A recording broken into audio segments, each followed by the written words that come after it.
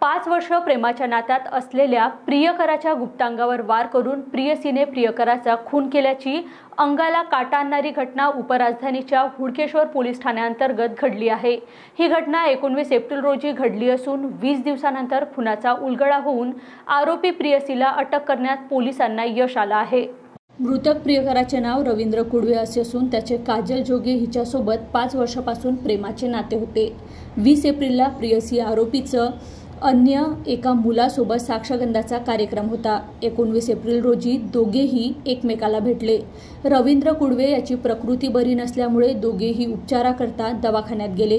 तेथे रवींद्रवर उपचार केला गेला. त्यानंतर दोघेही न्यू आकाशनगर येथील फ्लॅटवर गेले. तेथे जुन्या पैशाच्या वादातून व रवींद्रचा काजलच्या लग्नाला विरोध होता यावरून भांडण झालं. हातापायी झाली आणि आरोपी प्रियसीने प्रियकराच्या गुप्तांगावर लात मारली.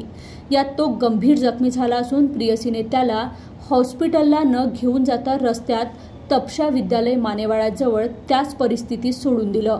एकोणवीस एप्रिल रोजी तपशा विद्यालय मानेवाड्याजवळ त्याची बॉडी पोलिसांना सापडली होती. पोलिसांनी त्याला मेडिकल येथे घेऊन गेले असता डॉक्टर रवींद्रला तपासून मृत घोषित केले. या प्रकरणी पोलिसांनी सखोल चौकशी केली असता वीस दिवसानंतर खुनाचा उलगडा झाला आणि आरोपी प्रियसीला पोलिसांनी अटक